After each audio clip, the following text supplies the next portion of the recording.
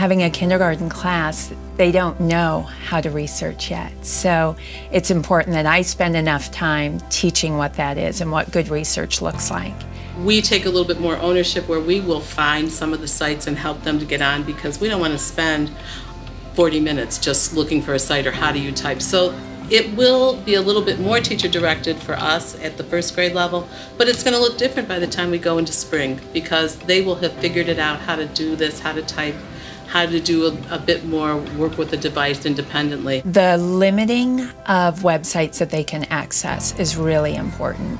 During the review phase, and I smile because some of the, um, the things that children have shared with us are actually very, very funny because their misconceptions are just amazing. And the weather, if it's cold, it gives you oxygen to stay alive. The cold weather has lots of oxygen when it comes down.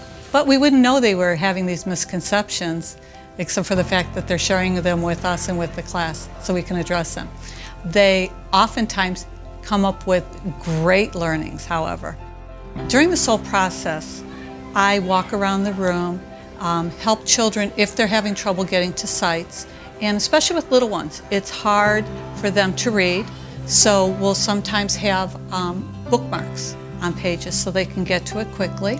We will sometimes sit and read with them if, if necessary and guide them through the process. But generally, um, we're finding that the kids can work as a team. There's very little of that necessary.